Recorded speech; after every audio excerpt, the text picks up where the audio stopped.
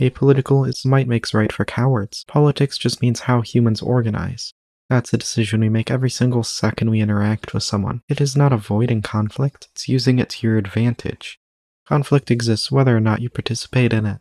It is centered around suppression and extraction of resources from the oppressed.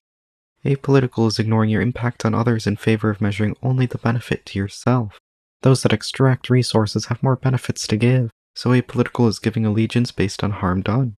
Not paying attention makes you an easy target. You can't stop a threat you pretended wasn't there. Instead, side with the targets.